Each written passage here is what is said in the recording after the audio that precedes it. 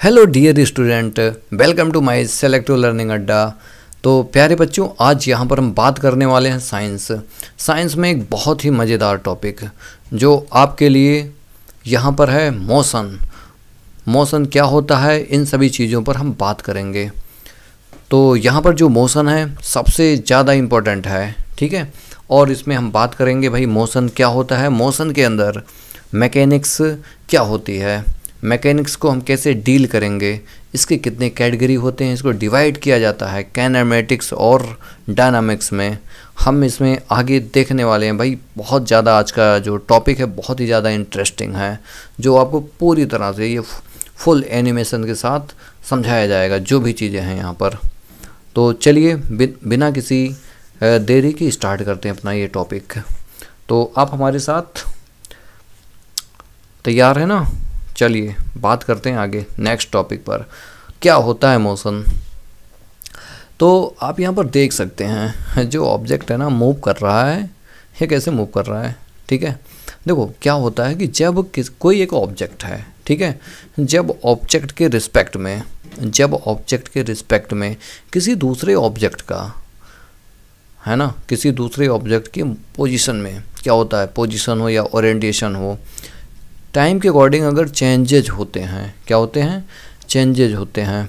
जैसे आप यहाँ पर देख सकते हैं change with the time of the position और ओरिएंटेशन ऑफ़ द बॉडी उसी को हम क्या कहते हैं? मोशन कहते हैं। टाइम के अकॉर्डिंग अगर एक ऑब्जेक्ट के रिस्पेक्ट में किसी दूसरे ऑब्जेक्ट के पोजीशन में क्या हो रहा है? चेंजेज हो रहे हैं, है ना?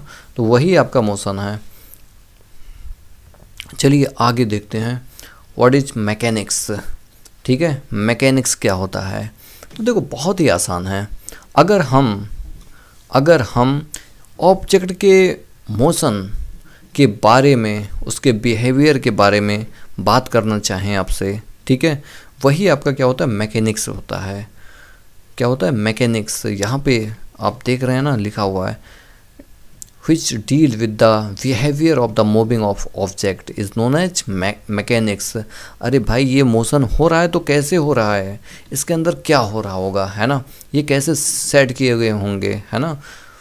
तो इनके सारे कॉज और मोशन है ना? हो रहा है तो ऐसे हो रहा है और क्यों हो रहा है?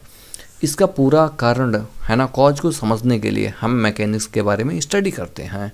और इसको हम दो पार्ट में डिवाइड करते हैं काइनामेटिक्स और डायनामिक्स देखिए काइनामेटिक्स की बात करते हैं। देखिए, ये क्या होता है? बहुत ही आसान है। अगर कोई बॉडी अगर कोई बॉडी मूव कर रही है मोशन कर रही है, अगर मैं बोलूँ, है ना, कर रही है तो कर रही है, कर रही है तो कर रही है है ना? उसके कारण ही ना पूछूँ क्यों कर रही है। बस, मैं जानता हूँ, वहाँ चल रही है भाई। पाँच सेकंड में यहाँ पर आएगी, दस सेकंड में वहाँ पे पहुँचेगी पहुँचेगी। लेकिन मैं बात ऐसा ना करूँ भाई ये बात ही ना करूँ कैसे आया होगा उसके अंदर कैसे चेंजेज हुए होंगे है ना? उसका एक्सलेशन कैसे बना होगा? अगर उसके कॉज को है ना हम डिस्कस ना करें बस उसके टाइम को बात करें टाइम की बात करें वेलोसिटी की बात कर, किसी पर्टिकुलर टाइम पर ठीक है? तो हम उसे क्या कहेंगे? काइनामेटिक्स कहेंगे ये एक आदमी है बाइक से जा रहा है यहाँ की स्प्रिंग है है ना? ये कुछ मोशन कर रहे हैं एस एच तो अगर मैं बोलूँ, भाई, ये कर रहे हैं तो कर रहे हैं, क्यों कर रहे हैं? क्यों का अगर कारण यहाँ पे ना बात किया जाए तो ये आपका क्या होगा? काइनामेटिक्स होगा। ठीक है? अब हम बात करते हैं डायनामिक्स की। तो डायनामिक्स कहता है, सर, हम तो पहले खोज को ढूंढें, ढूंढेंगे।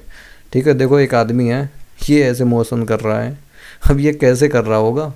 अगर इसके कारण को पता करें यही आपका क्या होता है? डायनामिक्स होता है। एक यहाँ पे अभी देखो एक ब्लॉक आके गिरता है। कैसे गिर गया उसी में? अगल बगल क्यों नहीं गिरा? अगर इन सभी कॉज को अगर हम फाइंड आउट करें तो आपका ये किसमें आ जाएगा? डायनामिक्स में आ आ जाएगा। तो प्यारे बच्चों, आपको शायद ये समझ में आ रहा होगा पूरी तरह से। तो आइए आगे और कुछ इंटरेस्टिंग पॉइंट पर बात करते हैं।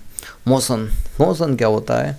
देखो अगर एक ऑब्जेक्ट के रिस्पेक्ट में कोई दूसरे ऑब्जेक्ट के पोजीशन में क्या हो रहा है? चेंजेज हो रहा है। क्या हो रहा है? चेंजेज हो रहा है। ठीक है? और गिव, किसी गिवन टाइम में तो उसी को हम क्या कहते हैं? मोशन कहते हैं। क्या कहते हैं? मोशन कहते हैं। देखो जब आप अभी बैठे हो बगल में अगर आपसे आपके भैया से या मम्मी से या पापा से पूछ लिया जाए आप क्या कर रहे हो? तो आप रेस्ट पर हो। ना तो चल रहे हो बस केवल बैठे हो मोबाइल देख रहे हो। ठीक है? लेकिन अगर अगर अगर कोई मून पे बैठा हो, कहाँ पे बैठा हो मून पे, हो उससे पूछूँ मैं, तुम क्या कर रहे हो? वो कहेगा, सर, ये अर्थ रोटेट कर रही है तो ये आदमी भी रोटेट कर रहा होगा। यानी कि उसके अकॉर्डिंग आप मोशन कर रहे हो, जबकि आपके साथ में जो लोग हैं, वो कह रहे हैं, रेस्ट पर है। तो देखो, कुल मिला के यहाँ पर फ्रेम की बात होती है। जब हम फ्रेम को डिसाइड कर देते हैं, इसके रिस्पेक्ट में हम बात करेंगे, है ना? तभी हम किसी भी, किसी की, किसी भी ऑब्जेक्ट के मोशन को हम डिसाइड कर सकते हैं, बता सकते हैं उसके बारे में। तब तक नहीं बता सकते हैं जब तक हम फ्रेम सेट नहीं करेंगे। आपके मम्मी पापा यहाँ पे या भैया आपके क्या थे? एक फ्रेम ही थे, ठीक है? और या मून की बात करूँ, वहाँ पे जो ऑब्जेक्ट था एक फ्रेम ही था, है ना? जब तक फ्रेम मानेंगे नहीं, तब तक हम मोशन को डिस्क्राइब नहीं कर सकते हैं। आइए बात करते हैं नेक्स्ट पॉइंट पर। अब मोशन के अंदर एक पॉइंट आता है रेस्ट क्या होता है रेस्ट एक बालक आया, बंदूक लेकर के बोला, हाथ ऊपर कर लो, खड़े हो जाओ। हिलना मत।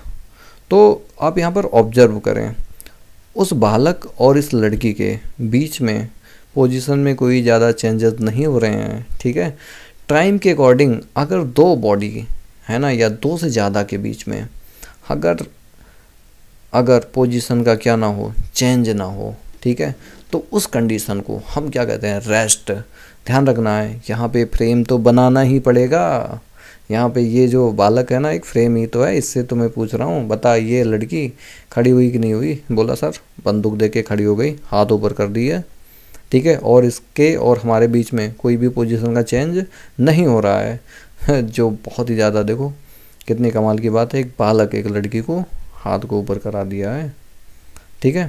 तो यहाँ पर आप ध्यान रखेंगे, अगर पोजीशन के बीच में, है ना, कोई भी चेंजेस ना हो विद रिस्पेक्ट टू टाइम ठीक है? तो हम उसको क्या कहेंगे? रेस्ट क्या कहेंगे? रेस्ट तो आइए प्यारे बच्चों, आगे एक नए और पॉइंट पर देखते हैं, ध्यान देते हैं।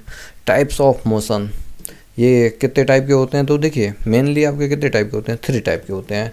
ट्रांसलेटरी मोशन रोटेटरी मोशन और वाइब्रेटरी मोशन तो यहाँ पर हम हर एक एक पार्ट पर बात करेंगे। ट्रांसलेटरी मोशन क्या होता है? रोटे रोटेटरी मोशन क्या होता है? और वाइब्रेश वाइब्रेटरी मोशन क्या होता है? तो चलिए बात करते हैं ट्रांसलेटरी तो देखिए ट्रांसलेटरी मोशन क्या है कि अगर कोई पार्टिकल ठीक है अगर कोई पार्टिकल इस तरह से मूव कर रहा है, एक पॉइंट से अनदर पॉइंट तक, ठीक है? और उसका पाथ दो टाइप का हो सकता है, या तो लीनियर हो सकता है, या तो कर्व पाथ हो सकता है, ठीक है? या तो लीनियर हो सकता है, या तो कर्व्ड हो सकता है। तो ध्यान रखना ऐसे मोशन को हम क्या कहते हैं? ट्रांसलेटरी मोशन कहते हैं।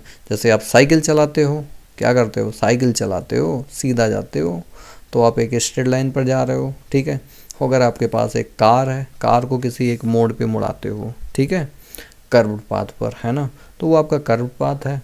तो इस टाइप के, देखिए यहाँ पे दो टाइप के मोशन मुझे समझ में आ रहे हैं। एक स्ट्रेट लाइन है और एक आपका कर्व पाथ है। क्या है? कर्व पाथ तो इनको भी दो टाइप से डिवाइड किया गया। पहला आपका है रेक्टेलिनियर मोशन रेक्टेलिनियर मोशन क्या होता है? कहता है कि, सर, अगर कोई ऑब्जेक्ट है ना, सीधा जाना चाहिए। मुझे नहीं मतलब है। बस जाए तो सीधा जाए। तो ऐसे मोशन को हम क्या कहते हैं? रेक्टिलीनियर मोशन कहते हैं। आप यहाँ पर देखो ए से बी जाना है। वो कह रहा है, जाने दो इसे। सीधा जाने दो। अगर मुड़ गया तो ये लीनियर मोशन नहीं है। यह एक बॉल है। सीधा जा रहा है भाई। ठीक है? उसके पास कोई दूसरा चारा भी नहीं है। ठीक है? तो ऐसे मोशन को हम क्या कहते हैं? रेक्टिलीनियर मोशन कहते हैं। और हमारे प्यारे बच्चों, बात करते हैं एक और मोशन की। जिसे हम क्या कहते हैं कर्व लीनियर मोशन ये तो बहुत ही आसान है, आपको समझ में आ गया होगा। अगर कोई ऑब्जेक्ट ठीक है कर्व पाथ पर कर्व पाथ पर क्या करती है मोशन करती है एलोंग अ कर्व पाथ इसका क्या? कर्व लीनियर मोशन तो डियर स्टूडेंट यहाँ तक आई होप आपको समझ में आया होगा। अगर आपको समझ में आया है तो आप ज़रूर कमेंट करके मुझे बताएँ, और क्या चीज़ इसमें आपको समझ में नहीं आया, ज़रूर उस चीज़ को है ना कमेंट में ज़रूर आप लिखें, जिससे मैं आपको और अच्छे से बता सकूँ। चलिए, मिलते हैं आपसे एक नेक्स्ट नेक्स्ट लेक्चर में। मिलेंगे आपसे बहुत ही जल्द। तब तक के लिए थैंक यू